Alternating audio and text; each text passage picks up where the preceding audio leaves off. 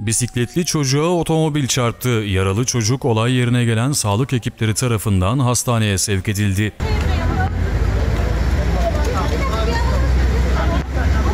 Kaza bugün öğle saatlerinde Turgut Özal Bulvarı ile 19 Mayıs Caddesi'nin kesiştiği kavşakta meydana geldi. Bisikletiyle Turgut Özal Bulvarı'nda seyir halinde olan Ahmet Pazaroğlu 19 Mayıs Caddesi'ne dönmek istedi. Bu esnada karşı yönden gelen otomobil bisikletli çocuğa çarptı. Çarpışma sonucu bisikletiyle birlikte yola savrulan çocuk ciddi şekilde yaralandı. Yaralının yardımına koşan çevre sakinleri durumu 112'ye bildirdi. Mesut.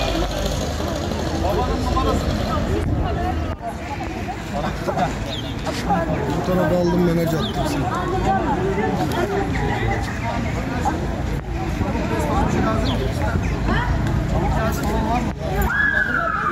Yaralı olay yerine gelen 112 ambulansıyla alınarak Tire Devlet Hastanesi acil servisine sevk edildi. Polis kazayla ilgili inceleme başlattı. Hadi beni içeri. Bırakmamış direkt çarptı.